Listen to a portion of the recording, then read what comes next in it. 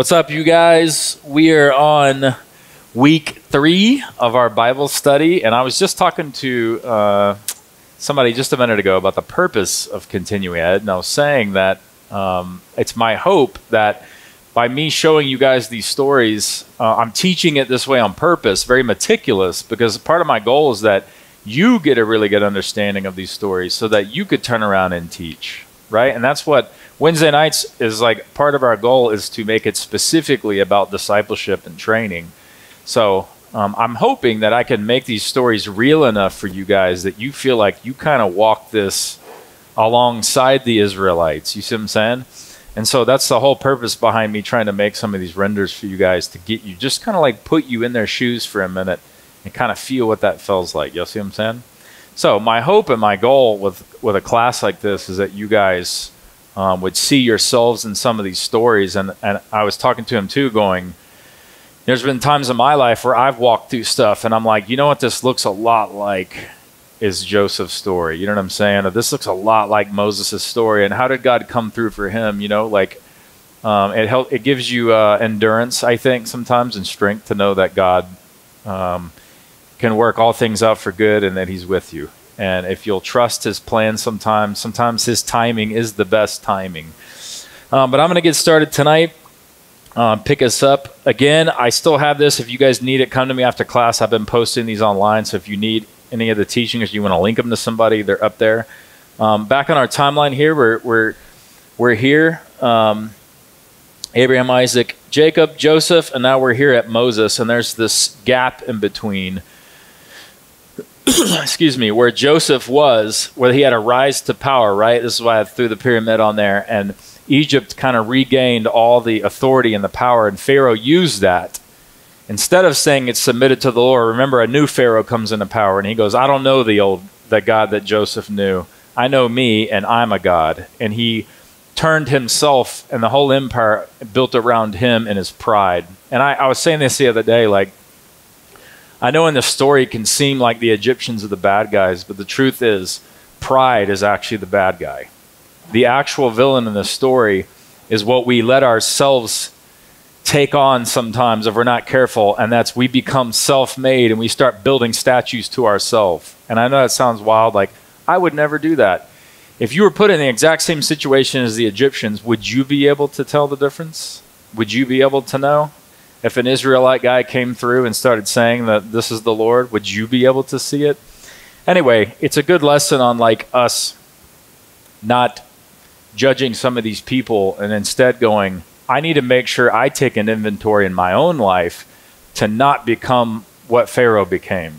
Because I too am human, just like him, and I could fall victim to the same trap of pride and building everything around me. And then my pride gets so big that I drag all these people through these plagues and I make them suffer at the hands of these plagues just so that I don't have to lose and I can save face. You see what I'm saying? So, 10 plagues sent. Uh, we're talking about Moses here. So, this was, again, my. Uh, my interpretation of Moses. Moses, to me, would have been an amalgamation of lots of races. I think anyone living at Ramesses at that time would have been an amalgamation of they could have been Macedonian Greek, they could have been Middle Eastern, they could have been African, they could have been a little bit of everything. And they had living in that land for about 400 years at that time. So, 10 plagues sin against Pharaoh and the Egyptian gods. I didn't know if I mentioned this last week, but Pharaoh to the Egyptians was also a god. He himself was considered a god. They considered him godlike. So, by Pharaoh admitting that he wasn't the Almighty, that Yahweh was, was like admitting defeat to some extent. So his pride wouldn't allow him to do that. Oh, so even though God knew Pharaoh would not choose to relent, God still offered him the chance many times. Pharaoh's evil reaches a point of no return. Even his own advisors think that he's lost his mind. God takes over and bends Pharaoh's will. God takes over and bends Pharaoh's evil towards his own redemptive purpose. So God takes everything and turns it for good. God lures Pharaoh in his own destruction as he saves his people. So we left off here. The final night of the plague. This is the 10th one. It's the death of the firstborn. Without a doubt, the most severe of all of them. And God says, uh, This Pharaoh is very stubborn. It's going to be with force that he lets you go. It's going to be with force. So It's, he left it off with, There will be a great cry in Egypt that has never been heard before and never will be heard again. So God turns the tables on Pharaoh. Just as he killed the sons of the Israelites, so God will kill the firstborn of Egypt with the final plague. I remember his dad, which I guess in historically accurate terms, it would have been his grandfather. His grandfather had all the firstborn of the Israelites killed, remember, because they grow too numerous. So he had them all thrown in the Nile River. Okay, so this is where we're picking up at. This is the last one. And this is uh, something's instituted here, and this is why I broke it up this week. I'm hoping last week was kind of like uh, the grim side of the story. I'm hoping this side of the story is a little bit more on the positive side. I get to tell you guys the good part of God bringing them out of Egypt and delivering them. But God starts off by giving them um, some instructions. Okay, so it's uh, unlike Pharaoh, God provides a means of escape through the blood of the lamb. It's an important sentence. So God comes to Moses and Aaron and he tells them, sorry, I'm in Egypt, I'm in, uh, I'm in Exodus 12 now. So if you're following along, this is Exodus 12. He comes to Moses and Aaron and he tells them, This month will be the first month of the year for you. On the 10th, every man take a first. Uh, take a firstborn sheep or goat of his household according to the family size. I'm paraphrasing here, okay? It's a lot of instructions. But what he's doing is he's giving them instructions for the Passover. And he's saying, um, if the if the animal's too big, the family next door can share. But you keep it till day 14. At twilight, all of Israel will kill the lamb at the same time, then put its blood over the doorpost and on the lintel, the top of the door. So this is kind of like a, a visual of what that looks like. And I'm going to talk about this for a second because this whole chapter is about this. It says. Um, they'll eat it roasted in fire with unleavened bread and bitter, bitter herbs, not baked or raw, but roasted in fire. This is very specific. Eat it all, the head and the entrails. It's disgusting. If anything is left the next day, burn it in a fire. And then he says, Oh man, that's me, sorry. He says, Eat it with haste, with a belt on your waist, sandals on your feet, and a staff in your hand, ready to move. So he's saying, Do this meal with these specific instructions. This is going to be called the Passover meal. But I want you to do it with all your gear on, because at any second, you might sprint out the front door. He says, Eat it in haste. This is the Lord's Passover. So seven days you'll eat unleavened bread. And in Exodus 12 12, God says, For I will pass through the land of Egypt on that night, and I will strike down all the firstborn in the land of Egypt, both man and beast, and against all the gods of Egypt. Remember, we talked about that last week. I know it's kind of a rabbit hole, but there were demonic gods over principalities of darkness over Egypt and over its rulers. And part of what the Lord was doing is he was coming and demonstrating on the well known lords, uh, I mean, gods of that time of the Egyptians. So all those plagues were in a direct contrast to some of those Egyptian gods. So, I mean, even that one with the frogs doesn't make a lot of sense unless you know the lore. And the lore is that the Egyptians had an actual frog god. Okay? So, him plaguing with that is almost using what they already know well. The Egyptians knew these gods very well. So for him to come in and, and almost counter them like that escalated how quickly this could happen. So uh, both man and beast and against all the gods of Egypt I will execute judgment. I am the Lord. Now the blood will be a sign for you in the houses where you are, and when I see sorry, when I see blood, I will pass over you, and the plague will not be or destroy you when I strike the land of Egypt. So he's saying, Mark your doors, and when the Spirit passes by. And what did that look like? I don't know. It might have been a floating cloud angel. I don't know what it was. It just says uh, almost like God's going to send an angel to do this. So, okay, so he tells them that mark your doors, it'll pass over your house, you'll be spared. So this day will be like a memorial to you, and you will keep it as a feast to the Lord throughout your generations. And this is, in the Jewish culture, this is called the Feast of Unleavened Bread. So the first day is you remove leaven from your house and have a holy convocation, basically like a party. You do seven days. You don't eat any unleavened bread, no work, only eating. On the seventh day, you have a holy convocation. Anyone who eats leaven during this window is cut off from Israel. These are very specific instructions.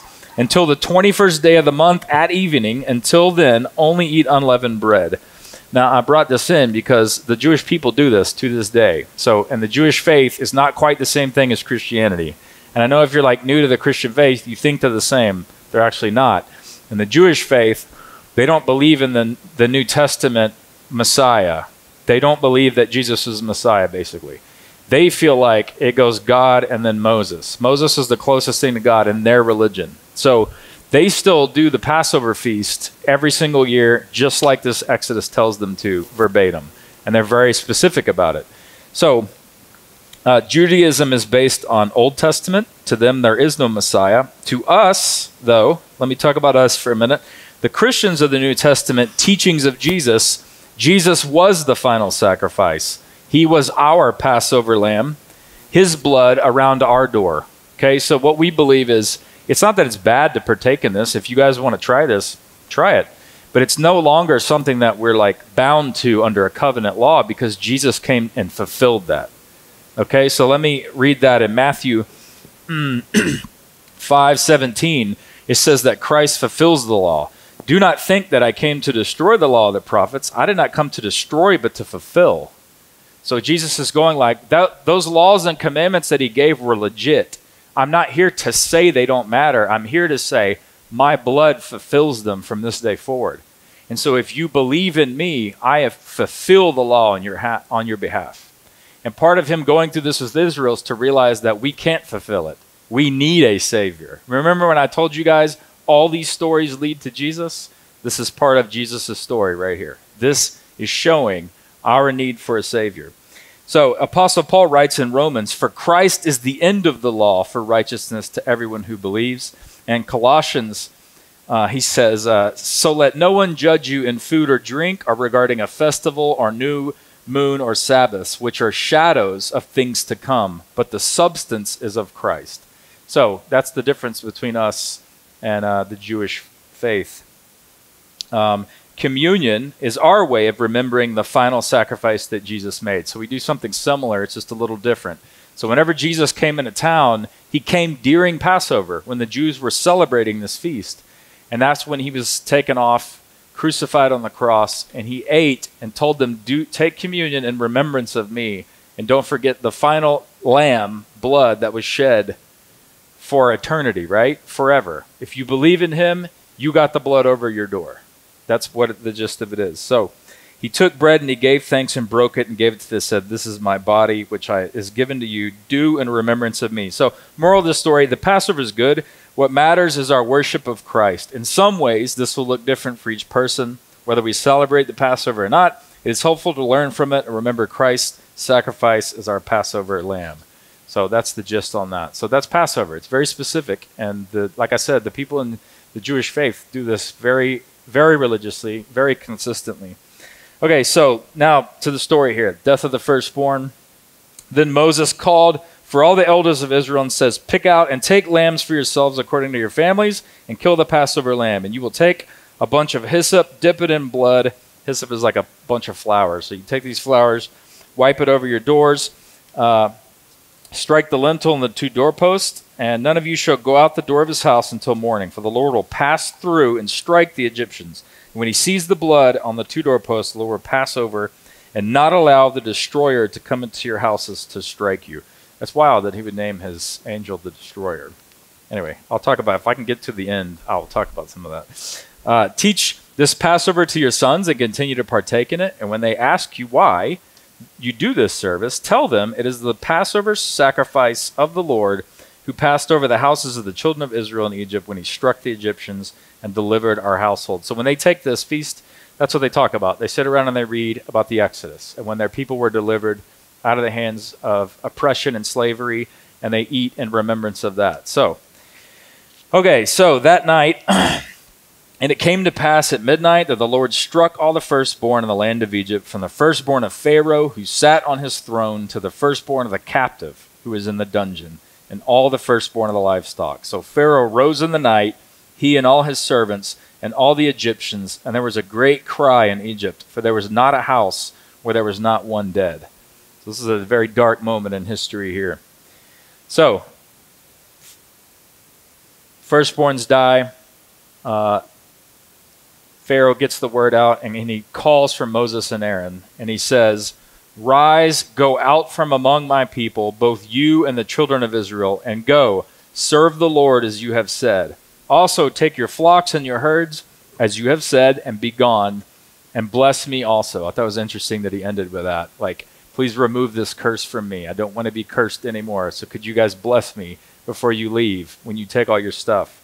So this is a this is a moment where the story kind of swings in a positive direction. They have been officially let go. The Egyptians actually come out to them and say, um, "You guys need to leave, or we're all going to be dead." So I can imagine the Egyptians feeling incredibly traumatized by this, even their firstborns dying to save Pharaoh's ego. You see what I'm saying? And so they're kind of warding them off. It says that the, the Hebrews had bowls of bread attached to their clothes, so they left with their bread before it was even leavened. Remember earlier when it says, do it with haste, keep your staff in your hand, and be ready to go, because at any second this could happen. So just like Moses told them, they asked the Egyptians for gold and silver, and they gave it to them because they had favor with the Egyptians. So therefore they plundered the Egyptians on the way out, and they were officially free. Now, imagine for a second. Let me just give you an, a comparison. I don't know if you guys you guys ever watch uh, the ball drop on New Year's Eve. Okay, it looks kind of like that. Okay, they say in the bow tie. Me and Steph have actually been to this. We've been here down in the little midst of these people. It was bananas. It was the most crazy thing maybe ever with the, the amount of just herds and herds of people. And you think if somebody starts moving whichever direction, we're all just going to dogpile and get stampeded out. Anyway, they say in the camera shot, whenever you're looking at, there's two roads that cross like this, or Times Square is called the bow tie. They say in the bow tie, there's roughly 900,000 people. So, as much as you can probably see on cameras, about 900,000. But there's probably, uh, with all the side streets and all that, there's about 2 million people here. So, just to put it in perspective, they walked out with a million and a half people out of Egypt. So, massive, massive caravan of people leaving Egypt. Um, so, the Egyptian. Uh, Then the children of Israel journeyed uh, to Ramesses to Succoth, about 600,000 men on foot, besides women and children. A mixed multitude went up with them also, flocks and herds, a great deal of livestock. So about a million and a half people. That's that's wild. They had been slaves at this point for over 400 years. So lots of people making their way through the desert. Massive caravan of people marching. Now, this next part is a map, and I know it's kind of hard to see. And I've done a ton of research on this. So I just, at some point, there's all these different theories. You got to just pick one and commit to it and just go, like, all right, this is the one I'm going with. I'm going with option C. It's like A, B, C, D. Where did they go? And this is, remember earlier I was telling you guys there's all these different cities that don't really exist anymore. So they kind of go like, well, when they say the city of Succoth, it's here. And then another person's like, no, no, no, it's way over here. You know, anyway.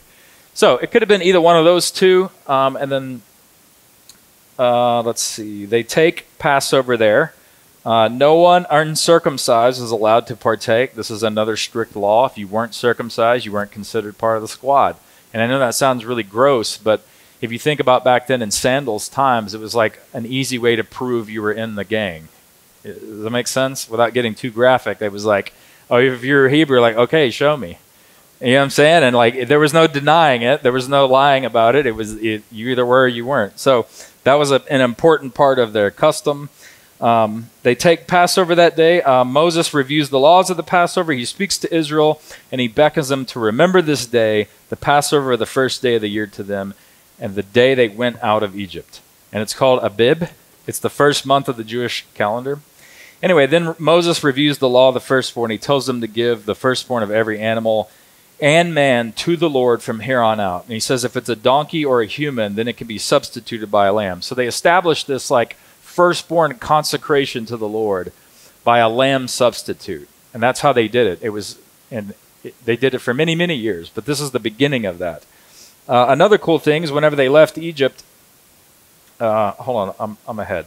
Then uh, do this do this to remember that because Pharaoh was stubborn, the Lord took the firstborn of both man and beast in Egypt, set them free. So now they're going out into the wilderness past this point, and it says um, instead of going the short way, which would have been like this, because this right here is the promised land. Okay, so whenever you guys hear the promised land, the land of Canaan, it wasn't established yet. We know it today as Israel, right? It wasn't Israel yet. It wasn't anything yet. It was just a big, huge land, and Shechem was the only like known city at that time. Jerusalem was there at that time also, but this whole land here was the land of Canaan, okay? So it makes sense that they would just peel out of Ramesses, right, and just follow the coastline. The problem was that this city right here was the capital of the Philistines. And so it actually says that God intentionally sent them this direction because he knew if they came up the coastline like this, the Philistines would kill all of them. It actually says the Philistines would confront them in battle, and the Israelites would see war and turn around and go back to Egypt because they would be scared of the war. So God intentionally leads them into the wilderness. Uh, so last week I ended with, no, not last week, week before last, I ended with Joseph's dying statement. I don't know if you guys remember this, but he says, uh, I am dying, but God will surely visit you and bring you out of this land to the land of which he swore to Abraham, Isaac, and Jacob. That was like Joseph's dying wish. Well, in order to honor this, Moses, it actually says he goes back and gets Joseph bones so that he can bury him with his fathers. And so this is verse 19. It says, Moses took the bones of Joseph with him, for he had placed the children of Israel under a solemn oath, saying, God will surely visit you, and you will carry up my bones from here with you. So that's pretty cool. Pit stop to get Joseph's bones. They took their journey from Succoth and encamped in Etham. So this is the next map that is uh, very debatable here. Which one direction did they go? Here, here. And there's a really good case for both. I don't know. I'm going with this top one that's green, just so you guys know. Okay. Even though I kind of like this theory a little better because it feeds my conspiracy theory side that makes more sense, I actually think after doing the research, it was this meth- this map. Now, just to give you guys context, this dark area right here is like big mountains. Okay. And then when it gets a little lighter, they're mountains ish kind of hills. And then this out here is just straight up sand. Okay, if that gives you any kind of context. So this is big mountains here. So here's Etham. Uh, and the Lord went before them in a pillar of cloud in the day and a column of fire at night. And it led the way um, everywhere, they, everywhere they were going, they would just follow the Lord, basically. He did not take away the pillar of cloud by day or the pillar of cloud by night for the people. So they always had all they had to do is wake up and, and follow the Lord. That's it. Real simple. Just follow the Lord. And you could do a whole sermon on that right there. Uh, so, next part of the story. Um, you guys are familiar with this part, but they are going to cross the Red Sea. So, let me get into some possibilities here. The first possibility is right down here at the bottom is this thing called Straits of Tiran. And it's a, it's a relatively shallow area. Um, this is the Red Sea, and these are the two. This is the. Uh, where the strait is. Uh, I'm coming up short. Anyway, these gulfs are where they where they cross. So they either cross down here at the Strait of Tiran, which is roughly 11 miles shore to shore, or they would cross at this next one, which is this Nuweiba Beach, and it's up here a little bit higher in the Gulf of Aqaba. So they would have had to go across. Now remember, I don't know if you guys remember this, but Moses spent years in Midian with Jethro. Remember his father-in-law. He spent roughly 40 years over there being a shepherd before God came to see him in the burning bush. So Moses is familiar with this territory. So you can imagine as he's leading them through some of this wilderness that he's familiar with some of these spots, okay? So this is the one I'm going with, okay? I'm going with this Nuweiba Beach. And if you look, there's kind of like this mountain range. I know it's hard to see from far away, but it's very narrow, and then it dumps out onto this big, huge beach right here. And the cool part about this, it's again, it's a little bit hard to see, but this gulf is super deep. I mean, like 8,000 feet deep, which is, it's hard to describe, but it's taller than the Burj Khalifa. You guys know that? And uh, the tallest building in the world that's in Dubai? Okay, it's taller than that. So you can imagine trying to walk a caravan of a million and a half people down a slope that high. It would be tough. But right here where this beach is, and I know it's kind of hard to see, but the earth kind of tapers out into the ocean some. So it's not as deep right there. It's not exactly shallow. It's still about 800, 800 ish feet deep, but it's shallower. Anyway, from the side, it kind of looks like that on Google Earth. If you go look at this, this is the Nuweiba Beach on the coast of the Sinai Peninsula. It's got a mountain range coming through like this. This is where many people, me included, believe that the Israelites dogpiled out on this beach, a million and a half of them, and were waiting for instructions. So God tells them, Turn and camp before Phi uh, Hahiroth between Migdol and the sea. Migdol is like an Egyptian watchtower. So, this is a whole other theory of all these different Migdols that would be along the Sinai Peninsula. And that's how Pharaoh knew where they were at because they would, you guys have seen Lord of the Rings, right? They like light the fires and then all the fires light all the way back to town. It's kind of like that. So, if this Migdol would have been arguably up on this hill, would have seen them marching through there, they would have lit lights all the way back to Egypt to let Pharaoh know where they're at. So, Anyway, that's one theory. So, opposite of Baal you will camp by the sea. For Pharaoh will say of the children of Israel that they were bewildered by the land, the land has closed them in. Then I will harden Pharaoh's heart so that he will pursue them, and I will gain honor over Pharaoh and all his army, that the Egyptians may know I'm the Lord. So here they are camped by the sea, seemingly cornered with no way out, right? That's a lot of people posted up on this beach. This is what the beach looks like right now. You can go stay in a resort down there today. People riding camels and swimming. Okay, so that's Nuweiba Beach. They're cornered here. Uh, Pharaoh gets word of this back in town, and it says, Now it was told to the king of Egypt that the people had fled, and the heart of Pharaoh and his servants was turned against the people. And they said, Why have we done this? Why have we let Israel go out from serving us? So Pharaoh rounds up the boys. Uh, says he made ready his chariot and took his people with him. Also, he took 600 choice chariots and all the chariots of Egypt with captains over every one of them. So he took the A team. He took everybody. I want all my best generals, all my best chariots. We're going to get our workers back. We don't feel like building all this stuff. It's way too much work. We got to get them back. So it says, And the Lord hardened the heart of the Pharaoh, king of Egypt, and he pursued the children of Israel. So there's a good amount of time that goes by. I guess they're, they're posted up on the beach out here. Uh, Pharaoh makes his way maybe on the same path as them, comes up this narrow pathway and corners them. So it says, When Pharaoh drew near, the children of Israel lifted their eyes, and behold, the Egyptians marched after them, so they were afraid. And the children of Israel cried out to the Lord. They said to Moses, Because there was no graves in Egypt, have you taken us away to die in the wilderness? Why have you so dealt with us to bring us up out of Egypt? Is this not the world, the word that we told you in Egypt? Saying, Leave us alone, that we may serve the Egyptians? For it would have been better for us to serve the Egyptians than we should die out here in the wilderness like a bunch of punks. So they're complaining. They're going like, It was better back in Egypt. Even though I was a slave and they whipped me all the time, at least I had a warm bed and some food. We don't know what you just did to us. So I'm trying to put this into perspective because I want you guys to take the position of Moses for a minute. Going like, what would you do in a moment like this? Having all these people turn on you roughly a million and a half of them. Um, so Moses very likely turns to God and, uh, well, he, Moses says to the people, Do not be afraid, stand still, and see the salvation of the Lord. And I meant to go back to my Moses slide here. Uh, stand still and see the salvation of the Lord, which he will accomplish for you today. For the Egyptians who you see today, you will see again no more forever. The Lord will fight for you and you shall hold your peace. That's quite the statement to say back to them. You talk about max level confidence in the Lord, Moses would have to have at this point without the water doing anything behind him. It's still there, right? So his confidence in God has got to be sky high, very high, that he would speak this way and go, Not only is God going to deliver you, but you see that army coming in full speed, you're not going to see him any day after today. They're all going to be gone. Now, max level confidence, right? He spins and he it says the Lord said to Moses, uh, there, there had to be a window right here Moses turns and goes, All right, God, I just talked a lot of trash for you. You got to come through here, or I'm going to look really bad. Like, you got to deliver us, we're all going to die today. And God says to Moses, Why do you cry to me? Tell the children of Israel to go forward, but lift up your rod, stretch out your hand over the sea, and divide it. And the children of Israel shall go on dry land through the midst of the sea. And indeed, I will harden the hearts of the Egyptians, and they will follow them in. So I will gain honor over Pharaoh and his army and his chariots, his horsemen.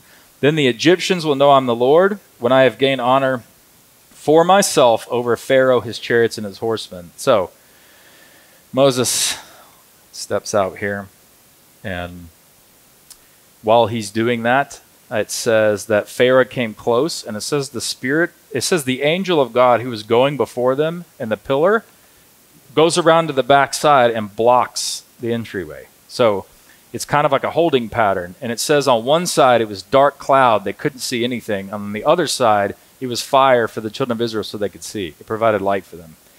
So the next, then Moses stretched out his hand over the sea. Uh, well, this is he's a little bit more on the water here. Uh, and it says, And the Lord caused the sea to go back by a strong east wind all that night, and made the sea into dry land, and the waters were divided. So the children of Israel went into the midst of the sea on dry ground, and the waters were a wall to them on their right hand and on their left. And the Egyptians pursued them and went after them, in the midst of the sea, all Pharaoh's horses, chariots, and horsemen. So, again, I got all these photos just to show you guys. This is a plethora of movies. There's a lot of a lot of demonstrations of this. Okay, this is the old school one from the 50s. This is Charlton Heston. This is uh, an AI rendering of the walls of water, roughly 800 feet high, which is crazy high, by the way. You know, there's all these theories like it says God came an east wind and moved the water and it, and it drew the water back. They're like, oh, maybe it was like a tide going down and they walked across on dry land and then God raised the tide and went back. That's one of the theories. But like biblically, it says it, the water was like a wall to them on the left and the right. So it had to look something like this. It had to. So anyway, they cross um, Moses goes out, throws his hands up, uses the rod, and parts the water, and they all cross. Now, this is a 10 mile hike across this thing, so it's just going to take them a minute. So they start off in the middle of the day. They're still going across by the time the sun sets. It's dark outside. And Pharaoh's guys, at some point, I guess God lifts the, filler, the pillar of fire, and they begin to pursue the Egyptians, okay? So, I mean, uh, the Israelites. So the Egyptians are pursuing them. They're coming into the water, but they'd still be a good distance off. I got a, I got a cool picture here of like maybe what it would have looked like standing down inside of those walls. If you imagine your kids and your wife and you're pulling them across, plus you got like carts and stuff of food and donkeys, they're probably tripping, you know, making all kinds of noise. So it would have been scary. But what ends up happening is they, Pharaoh's chariots follow them in, and God tells, and this is where uh, it says, God, now it came to pass in the morning watch that the Lord looked down upon the army of the Egyptians through the pillar of the fire and the cloud, and he troubled the army of the Egyptians. So it says, God threw the pillar, before he picks it up, it says he confuses them. And it says he took off some of their chariot wheels so that they drove them with difficulty. And the Egyptians said, Let us flee from the face of Israel, for the Lord fights for them against the Egyptians. So even some of Pharaoh's dudes, before they went into the sea, was like, This is a bad idea. We're about to die. But Pharaoh's ego is sky high at this point. He's like, No, I'm going to hawk them down and kill every one of them.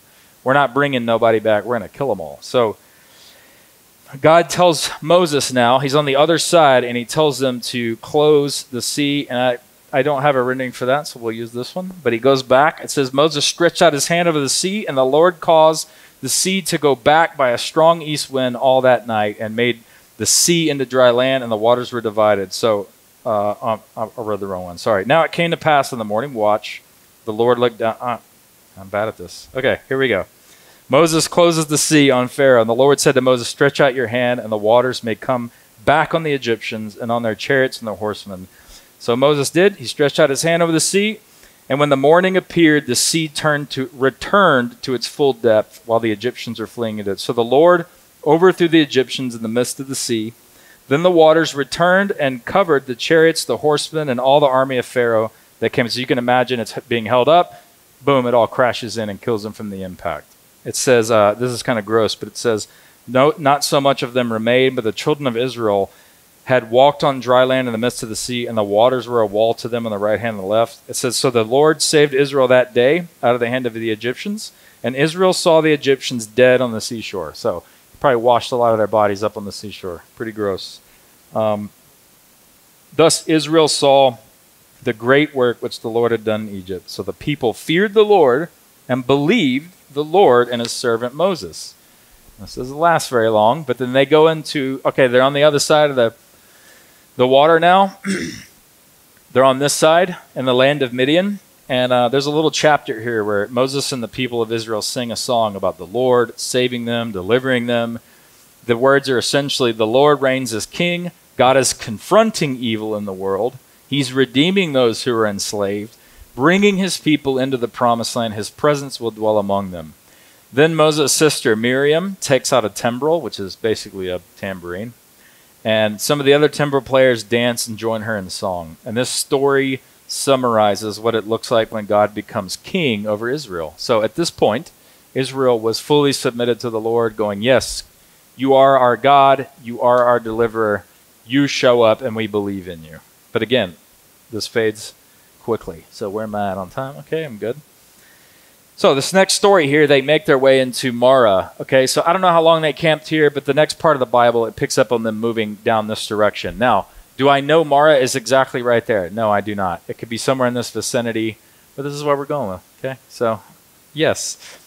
Uh, Exodus 15 now is where I'm at. The story takes a sharp turn. It says they continued the journey three days into the wilderness of Shur, and found no water. They came to a lake that is bitter and named it Mara, which means bitter. So, I don't know if some of you have heard this story, but Moses, um, they find a little small pond. It says the people complain and ask Moses, What are we supposed to drink? So Moses asks God what to do, and the Lord shows him a tree. Moses puts the tree in the water and turns the water from bitter to drinkable. Moses then commissions them that the Lord is good and they should follow his commands because the Lord is the one who heals them. So, again, this is a constant struggle for Moses to constantly have to put the Lord back on the throne and go, It's been a whole five seconds, and you guys are already back to complaining and being worried and letting fear run your life. Trust in the Lord, He's going to come through. Okay? So, He's pointing them back to God. Now, they go a little further. Uh, they keep marching to this next city called Elim. And this one's pretty cool. This is part of why I think Mara was on the way, because Elim is still there today, and I'll show you a picture in a minute. But it says they, they come to Elim where there was 12 wells of water and 70 palm trees. It actually says that by number in the Bible. So it's very specific. 70, somebody sat there and was like, 70, write down 70. 70 trees, and they camped by the waters. And this was kind of like a light at the end of the tunnel. They were very excited to be there. And you can go there today. This is called the 12 Springs of Moses. And um, 12 Springs of the Prophet Moses is a historical landmark located in the valley of Menka, uh, Saudi Arabia. The, the, the uh, sprouting of water and its flow against gravity in the middle of the desert appears nothing less than magical. So everybody around this area agrees, and they visit this like kind of like a national landmark. Pretty cool. So they got relief in Elam. Now, the next part, some of you guys have heard the story. They keep making their moves here, and they go into what's called the wilderness of sin. Nobody knows, again, exactly what that looked like. And there, there's a possibility they could have marched all the way this way, all the way back. I don't know, but I, I drew it roughly in this vicinity. But this is where they, they move the camp and they travel through the wilderness of sin between Elam and Mount Sinai. And it says, Then all of the children of Israel complained this is roughly 75 days after they left Egypt. So they're complaining again. Um, they don't have any food. And it says, Oh, that we had died by the hand of the Lord in the land of Egypt when we sat by the pots of meat and when we ate bread to the full. So they're reminiscing. They're going, Y'all remember back home in Egypt when we was eating like kings, bro? We thought we were slaves. We were eating real good. Now we're out here in the middle of nowhere, starving. But remember back how good it was in Egypt. It was awesome. This sounds like us sometimes, straight up. And I again, I people do like sermons on this all the time. So it feels like I'm browsing over this stuff, like all these little stories I'm telling. Like people have done like full blown sermons on some of these stories, and how easy it is. It's the children of Israel are like a type and shadow of, of our modern day life and how we get sometimes, right? Where we fluctuate so easy. One minute we're like, we trust God, He's obviously the provider and He's coming through two seconds later, we're going, man, I had it so good and it was so much easier then. Remember that? Like how fast we get in, uh, what is it called? The grass is always greener syndrome sometimes. You know, we forget how far God's brought us. Anyway, I'll, I'll keep going here. So this is Exodus 16:4. He says, Then the Lord said to Moses, Behold, I will rain bread from heaven for you. And the people shall go out and gather a certain quota every day that I may test them whether they will walk in my law or not. So God's going like, I'm going to feed them, but I'm going to institute a system for this feeding because I want to see if they can follow my commands. But what, and I'll, I'll explain this in a second, but what God's trying to do is He's going like, I can get closer to y'all if the sin isn't there. And if you can get some of this sin out of the way, I can bring myself in proximity to you closer. And that's what His goal is. His goal is to do that. So, then Moses and Aaron say, oh, he tells them, uh, go out and gather, and on this uh, every day I'll have you go and gather. But on the sixth day, they're going to prepare enough on what they bring in, and it shall be twice as much. And they'll got. So what he's saying is, six days a week there's going to be enough food. On the sixth day, I'm going to double the amount of food. I want you to gather twice as much, so that on the seventh you can rest. That you don't have to gather anything. You would have gathered all of it the day before. So then Moses and Aaron said to the children of Israel, At evening you will know that the Lord has brought you out of the land of Egypt, and in the morning you will see the glory of the Lord, for he hears your complaints against him. But what are we that you complain against us? This is Moses and Aaron going like, I don't know why y'all get so mad at us. Y'all mad at the Lord. Make no mistake, when you're complaining like this, I know y'all feel like y'all don't trust us. What y'all are really saying is you don't trust him. That's what you're really saying. He says, And what are we? Your complaints are not against us, but against the Lord. So God tells them that night that they will eat meat in the morning and bread in the afternoon. So it says, Quail came up in the evening and covered the camp. I kind of have a, somewhat of a render here of them just posted up in tents and gathering. Man, uh, it says, And in the morning a dew came and left behind a white round bread substance, and they named it manna. It tasted like wafers made with honey. Moses instructs them on how to gather the manna. And so they have special instructions on like how to gather them. It's one omer per family, and then they can gather them all at one time. Anyway, there's there's a lot of details. I'll spare you guys, but uh, Moses. there's even a point where Moses tells them how to gather it, and it says, "Don't leave any out overnight; it'll go bad." And they end up leaving it out overnight, and it goes bad. And it says Moses is angry. So I just put vexed here, like he's like, oh my god, these people are driving me nuts. I give him really simple instructions and they don't do it.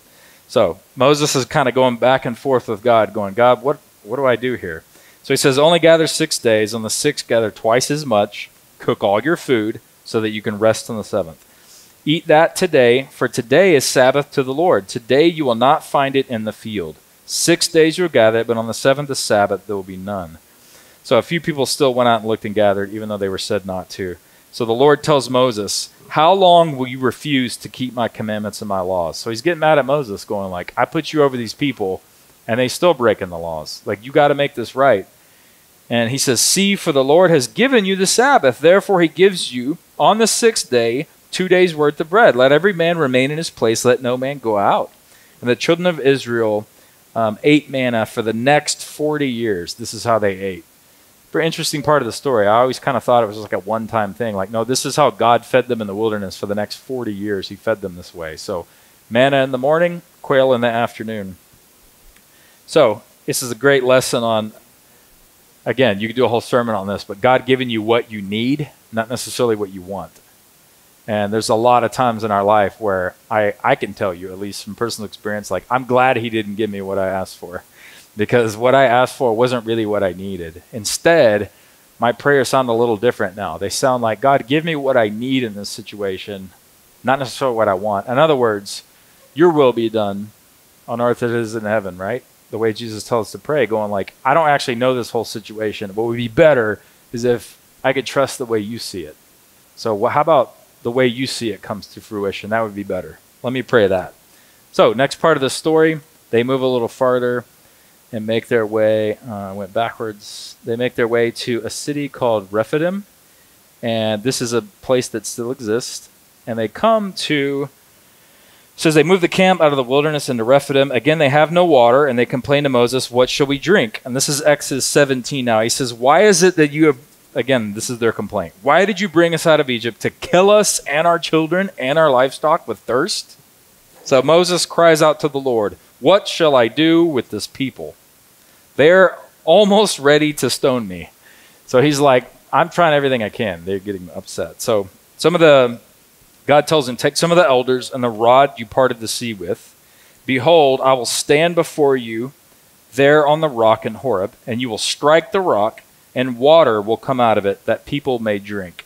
So Moses goes up and whacks a rock with his staff, and water flows out and goes everywhere. Now, here's the cool part there's an actual rock in Rephidim that is massive, and it is split right down the middle. And if you go do like a bird's eye view of the area around this, all of this textile is different, almost like it's been flooded before.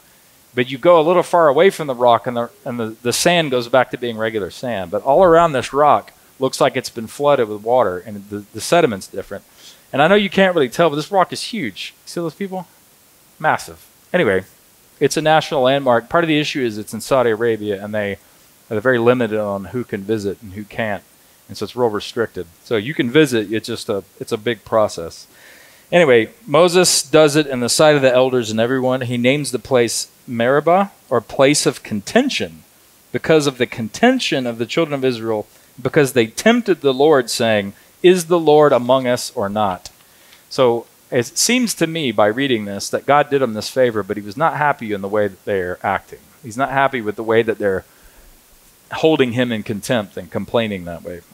Anyway, another part of the story, and I think I have a picture here. Okay, so at some point, the Amalekites attack the children of Israel as they're making their way through the desert. And there's stories about this later. I've actually read I've actually read stories about this all the way to the story of David. So David's many many many years later, right? King David comes in and God actually goes, "You remember those Amalekites that attacked my people out in the open? David, I want you to take your swords and I want you to go kill all of them. I want you to erase them because of what they did to Moses." So this is that story. So Moses gets attacked and he asks um, this is also where the character we're going to talk about next week comes into the scene, and that's Joshua. We're going to talk about Joshua next week, the conqueror for Israel.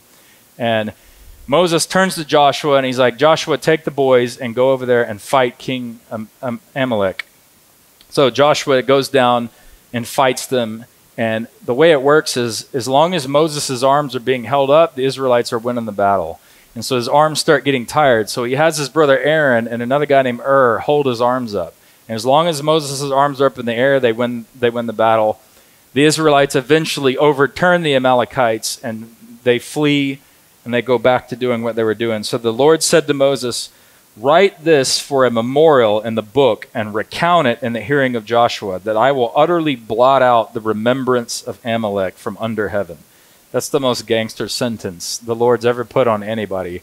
And he really doesn't like this guy. But if you do a little research in the Amalekites, I talked about them in my class. They were like a sort of a savage tribe people, face painters, pagans. They used to take the Israelites, this is gross, sorry, they would take their foreskins and throw it at the sun and cut, curse the Lord, is what it said.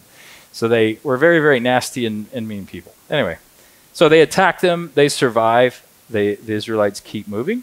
Now, this next part of the story is pretty cool.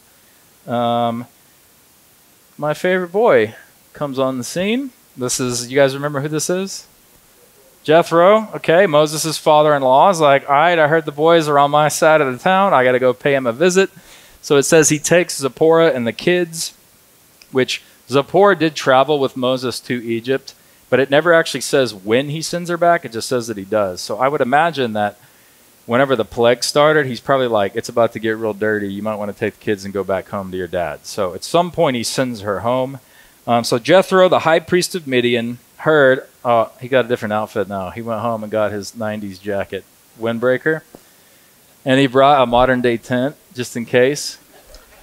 That's what AI is like. Okay, it just does weird stuff sometimes, but I like this rendering. So, okay, Joseph, the I mean uh, Jethro, the high priest of Midian, heard all that Moses' God had done for him, Israel and its people he loads up Zipporah and Moses' two sons and sends word that he's coming to visit Moses at the holy mountain of God. And I'm about to talk about that. But Moses greets him when he arrives. He bows and kisses him, and they go into Moses' tent and chat. Moses brings up brings him up to speed on everything. He talks about leaving Egypt, Pharaoh, all the hardships, and how the Lord delivered them. And Jethro celebrates with joy. He says, Now I know that the Lord is greater than all the gods. For in the very thing in which they behaved proudly, he was above them. In other words, like every single one of those Egyptian gods that thought they were awesome, God came in and outdid them, right? That's what he's saying. So he says, Then Jethro, Moses' father in law, took a burnt offering and, off, and other sacrifices to offer to God, and Aaron came with all the elders of Israel to eat bread with Moses' father in law before God. Now, this is the cool part. The next day, Moses sat to judge the people, like he usually did each day, and in a line of people, he stood before them from morning till evening. So, this is just like every day in the life of Moses. He'd wake up in the morning, eat breakfast, and then he'd go sit in his chair to judge one person after another with all their drama. Okay, and this is the best way I can describe it. It's like they took my goat and they weren't supposed to take my goat. I told them they couldn't have it to the end of the month. They took it two days early. Who's right? And he would go, you committed to that, so go back to your house. You're not supposed to give it to them until the 30th. They took it on the 28th. That's not fair. Give it back. Wait till the. Okay, so parenting, babysitting, that's what he was doing. So it says he would go out every day. So Jethro sees him doing this and he tells him, What is this thing that you're doing for the people? Why do you alone sit and all the people stand before you from morning until evening? And Moses says, Because the people come to me to inquire of God. When they have a difficulty, they come to me, and I judge between one and another, and I make known the statutes of God and his laws. So Moses' father in law says, The thing that you do is not good. This is not good. He says, Both you and these people who are with you will surely wear yourselves out, for this thing is too much for you. You are not able to perform it by yourself. Now he says, Listen now to my voice, and I will give you counsel, and God will be with you. How many of you guys, if you were Moses, could let Jethro give you counsel? And if so, would you listen to him? After you just got through personally lifting the rod up and parting the Red Sea, now your father in law is going to come give you advice. Would you have the humility to allow him to speak into your life and take his counsel? Okay, so I know it sounds wild, but this is, shows you a little bit of Moses' personality that he was willing to let his father in law, who was but a simple sheep herder, right, and a priest, and Moses himself just got through part in the Red Sea. So he's, he's a celebrity at this point. Anyway, so he says, Stand before God for the people, so that you may bring the difficulties to God, and you shall teach them the statutes and the laws, and show them the way which they must walk and the work they must do. So he says he advises that he distribute the authority among trusted men of God that he can train up. He says, put some over tens, some over 50, some over a 100, some over a 1,000. Let them judge all day. If it's a big matter, they can bring it to you. If it's small, let them decide. So Moses heeded the voice of his father in law and did all he said. And that's the end of Jethro's story. So he comes through and gives Moses some pointers. He's like, listen, kid, you're going to burn yourself out if you try to play parent for every single one of these people. You need to learn how to let go of control a little bit and learn how to empower people. You have to extend your authority, train them up in the way, and then let them decide. Like he says, let them decide on some of those matters, or you're going to burn yourself out. So, now, next part of the story, and I'm actually going to end here. I got a few minutes. Um, they make their way in the third month. They left Egypt. The children of Israel left Rephidim and went into the wilderness of Sinai and camped under the holy mountain of God. And this is another. I don't know if y'all know this, but th- that area, like, it, will straight up snow up there. So I know you always think in your head, like, the Israelites are sweating every day because you think of Saudi Arabia as hot, but it actually gets crazy cold up there also. So there's a good chance that they're dealing with freezing conditions as well. But they make their way around the wilderness to Mount Sinai here, considered the holy mountain of God. And if you guys would like to know, this is it. This is the mountain. It's called Jabal Lawz, and it's a Saudi Arabian mountain. And you ask them, they say that is the mountain of Yahweh. That is what they will tell you if you go over there and you speak to those people, the local residents. They said this is the mountain of Yahweh. And if you spin around the other side, this is from Google Earth, by the way, modern uh, it looks kind of like this. And this is interesting, but there's a possibility they dogpiled over here, and there's this weird, like, pentagon flat area right here. And I know it's marked to the church, but there's nothing there. It's just a spot. So there's a possibility that he walked Mount Sinai, the mountain of Yahweh, and it might have looked a little bit like that, if that helps at all. Like, there's a possibility they were all here, and Moses and the boys went up to here and then made their way all the way up. I'm not sure, but I'll read you guys the next part. This is what that little Pentagon area looks like. If you were to actually stand up there right now, and look out south in the direction back towards Egypt. So here's kind of the view from the other side, maybe what it'd have looked like. And then here, the holy mountain of the Lord. Well, let me let me read this next part. One second. So Moses went up to God, and Lord the Lord called him from the mountain, saying, Thus you will say to the house of Jacob and tell the children of Israel, that you have seen what I did to the Egyptians and how I bore you on eagle's wings and brought you to myself.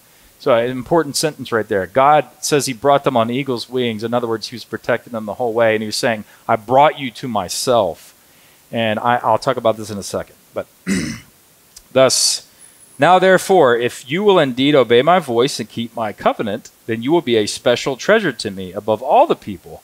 For all the earth is mine, and you shall be to me a kingdom of priests and a holy nation. These are the words which I speak to the children of Israel. So Moses goes up, God tells him all this. This is Moses goes down and calls for the elders, and they agree to honor the Lord and keep his commandments. So Moses goes back up the mountain and tells the Lord, they're in. They want to be in covenant with you and become your holy nation, your holy people, your holy priest. So Mo- Moses says, Behold, I come to you in a thick cloud, that the people so Moses goes back up, tells the Lord he agreed, and the Lord says, Okay, cool. I'm going to come to you in a thick cloud that the people may hear when I speak to you and believe forever. So this is a historical moment. God himself is going to come down and dwell with the people for the first time ever. So Moses comes down and tells them to buckle up in three days the Lord is coming. It says, For on the third day the Lord is going to come down on this mountain in the sight of all the people. You shall set bounds for the people all around, saying, Take heed to yourselves that you not go up on the mountain or even touch its base. Whoever touches the mountain will be put to death. Not a hand shall touch him. But he shall surely be stoned or shot with an arrow. Whether a man or beast, he will not live. When the trumpet sounds long, they shall come near the mountain. So Moses went and washed and sanctified the people and told them, Do not come near your wives. It's an interesting point, but I think he was trying to get them as less defiled as possible and as clean and as uh, in the right standing and pure as humanly possible before they went up to, to see the Lord. So, this is the holy mountain renderings all throughout history. There's a lot of these, okay? There's this moment where God comes down in a cloud, and I'll read this piece to you. It says, um, Then it came to pass on the third day in the morning that there were thunderings and lightnings, and a thick cloud on the mountain, and the sound of a trumpet was very loud, so that all the people who were in the camp trembled. And Moses brought the people out of the camp to meet with God, and they stood at the foot of the mountain. Now, Mount Sinai was completely in smoke, because the Lord descended upon it in fire. Its smoke ascended like a smoke of a furnace, and the whole mountain quaked greatly. So you can imagine this is a pretty scary, I mean, it's a pretty decent rendering of them being worried. Now, I do have uh, another rendering that like a French painter did. That's pretty cool. I mean, it's a little taken out of context. Um, here is what I feel like realistically it looked like. So, thick cloud, God's now dwelling there. Trumpet sounds really loud, lightnings everywhere, and God is actually speaking, and they all tremble in fear. And Moses and the and the boys are over here to the side. And I'll, I'll, I'm gonna I'm almost done, but I'm gonna end here. So now Mount Sinai, it says, uh, and when the blast of the trumpet sounded long and became louder and louder, Moses spoke and God answered him by voice. So you can imagine the voice of the Lord booming through this huge smoke, right? Talking to Moses. And God's going like, I'm doing this on purpose because I want them to hear my voice like this, so that they I will know that I am the Lord. It says, Then the Lord came down upon Mount Sinai on the top of the mountain, and the Lord called Moses to the top of the mountain, and Moses went up. And that's where I'm going to end this story. And I'm going to give you guys the summary real quick. And I was going to kind of base this off my timing. But so the Exodus was technically complete at this point. They made it to their place of worship. And what I mean by that is that was their original request when they wanted to leave Egypt. Remember, God told him, He says, Go to Pharaoh and say, The Lord God of the Hebrews has met with us. Let us journey into the wilderness that we may sacrifice to the Lord our God. So they made it to their place of sacrifice where they were going to meet the Lord. God was in the process of fulfilling the prophecy he had given to Abraham all those years ago. Here at the mountain, God offers Israel a new covenant relationship where his presence would now dwell with them, and if they would keep his commands. And so this is the same place that God gives Moses the Ten Commandments. He also gives Moses the download on what the Levitical priesthood should look like, the way they set up the tabernacle, the way that God is going to dwell inside of the Ark of the Covenant, all of those blueprints come from Moses going up here and spending time with the Lord and him bringing it down to the children of Israel. So they spent a significant amount of time here at the holy mountain of God. And I put on here, uh, God had to separate them from Egypt to encounter them this way. And I put this question of going, was it because of Egypt or because of them? And what I mean by that is, how many things in our life, and I know um, you've heard it said this way before, but what is it like in Egypt in your life that God maybe needs to remove you from so that He can actually come down and dwell with you? You know, what's the Egypt in your life that, and, and I, I really want to end on this part, and I know it's weird, but I want to warn y'all, I'm also weird. So I say things that are weird. So I want to end with this thought that if y'all give me like like three or four minutes, I want to end with this. And this is like something unusual that I pulled from this story uh, it's the darkness, and, and I want to explain that. It, Moses in Exodus 20:18. So this is a couple couple scriptures past what we just ended. It says, "Now all the people witnessed the thunderings, the lightning flashes, the sound of the trumpet, and the mountains smoking. And when the people saw it, they trembled and they stood far off. And then they said to Moses, "You speak to us, and we'll hear, but let not God speak to us, lest we die." And this is the next verse uh, I, I want to talk about. It says, Moses said to the people, Do not fear, For God has come to test you, that his fear may be before you, so that you may not sin. So the people stood far off, but Moses drew near the thick darkness where God was. And I want to talk about this because it's it's strange. You know, you would never imagine God being a thick darkness that Moses has to walk into. And I, and it triggered me in my head because there's other references to this in scripture. So I went and I looked them up because I've actually taught on these before and they didn't make sense to me then. And I'm I so anyway, this is Solomon in Second Chronicles. Solomon is speaking uh, a blessing over the temple that he just built and opened, and he says, "The Lord said He would dwell in the dark cloud. I have surely built you an exalted house and a place for you to dwell in forever." Well, what Solomon was referencing when he said that was the words of his father David. So roll the clock back a couple of years, and it's David in Psalm going, The Lord reigns, let the earth rejoice, let the multitude of isles be glad. Clouds and darkness surround him. Righteousness and justice are the foundation of his throne. A fire goes before him and burns up his enemies round about. So it's interesting. I just keep chasing this back. Now, now we're back to Abraham. Let's roll the clock a little further back. Abraham tells him in Genesis 15, he says, Now when the sun was going down, a deep sleep fell upon Abraham, and behold, a horrors and great darkness fell upon him. Then he says to Abraham, Know certainly that your descendants will be strangers in a land that's not theirs, and will serve them, and they will afflict them for 400 years. And also the nation whom they serve I will judge. Afterwards they will come out with great possessions. So he actually predicts the Exodus all those years ago via Abraham. But it's odd to me that he visits them through horror and great darkness. Anyway, now let's go forward in time to Jesus dying on the cross. It says, Now when the sixth hour had come, there was a darkness over the whole land until the ninth hour. So for three hours, Jesus, while Jesus was making an atonement for sin, the whole land was dark with a darkness they had never seen. And that's when Jesus, you guys know this piece, he cries out, Father, Father, why have you forsaken me? because he's taking on the burdens and atonement for sin. So there is a mystery to God that can be both frightening and comforting. And I, I, I'm gonna. It's written this way, so I'm gonna read it this way. But it's it is a beautiful truth to know that Jesus has come to give us light that we might know God. But I believe it is also comforting to know that God is not absent in our darkness, but perhaps closer than we might realize. Darkness can be scary, but let me submit to you that not being afraid of the darkness, where God is, can lead to some of the most precious encounters and revelations of God that our hearts long for. In fact, let me take it a step further. I believe the majority of us in Western world worship it worship the God of comfort, security, and control. This is unpredictable God that cannot be controlled and dwells in deep darkness.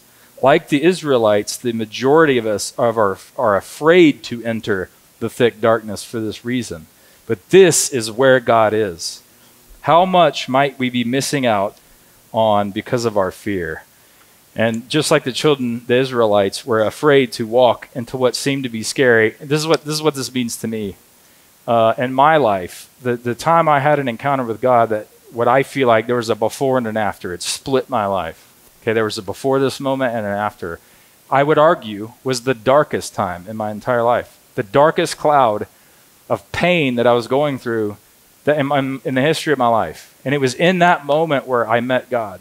Okay, and I had an encounter with God where He came in and showed me uh, His overwhelming love and s- support for me, and the way He viewed me as His son. And I, I found the Lord in the darkness. Is I guess is what I'm trying to say. And the reason Moses was willing to walk into the darkness head first is because the Lord was on the other side. And he knew that. You see what I'm saying? So that's an encouragement for you guys as I close tonight to say sometimes you need to push into the darkness and know that the Lord is there with you and that he is there to heal you from that darkness. You see what I'm saying? And know that his light is on the other side of that dark cloud sometimes. And He's going to be right there with you. And if you will call out to Him, He can heal you from whatever thing that you're going through because healing is important. Amen? Okay, so next week, um, I am actually going to be out of town. We're going to talk about Joshua. And so, just to, as a little bit of a lead up, and I do plan on making a video to explain this a little bit more, but um, I'm going to have someone come and substitute my class for me and his name is actually Joshua. So, Joshua, um, he's actually sitting right here on the front row. This is Josh. So, I would love for you guys to come back next week and support him. Let me give you a little bit of backstory in this. I really feel like God was telling me to uh, get someone to cover my class. I entertained in my head, like recording it myself and just playing it for you guys. But I really feel like God was like, no, get Josh to do it. So I was like, hey, man, I know uh, this doesn't make any sense, but I think you're a good teacher. And I think God's trying to pull your teaching gift out of you and wants you to do this. So I know this is kind of uh, random off to the side, but would you be willing to do that? And he said yes. So he's been studying and preparing. I actually told him it would be best. I would like to hear his take on it. And I want to encourage you guys to put yourselves in the same shoes. If I were to ask any one of you guys to come up here and teach, um, would you be willing to go and read the story of Joshua? And would you be willing to write your take on it? I think sometimes we get overwhelmed in church thinking you got to be this pastor telling everybody what to do. And a lot of times Christianity should look more like us sharing with each other what God has done in our lives and what He's told us through the scripture. Does that make sense? So we should all be willing to like read these stories and then turn around with each other and share like, look, this is what God showed me through this story right here. And this is where I related. And that should bring a little bit of weight off of you to feel like you too could be a teacher. And I, that's kind of how I started tonight. So I'm going to end with that. But the whole reason we do this is to try to equip you guys because there may come a day where you're speaking to a family member or someone at your work. And I think the more uh, prepared you are, the uh, easier it'll be for the Lord to use you. Amen. God meets us at that place of preparation like that. So let me pray and we'll dismiss tonight. Father God, thank you for the opportunity to God to come into your house like this, Father, and study and get to know you better, God. Just like the children of Israel, Father, we want you to be able to come and dwell with us, God. So thank you for sending your Son to be the final sacrifice on our door, God, so that we can dwell with you now. When you unleashed your Holy Spirit on the earth, Father, that was forever a finished work. And so now, God, we're, we're grateful that we can walk every day, God, uh, with your Holy Spirit, step by step, situation by situation, Father. So we're grateful for that, God. Help keep us in a position of, of gratitude um, and humility underneath your leadership. Uh, just like you called your children to, Father. Um, we're, we're grateful. We pray all this in the name of Jesus. Amen. Thank you, guys. Thank you for staying later.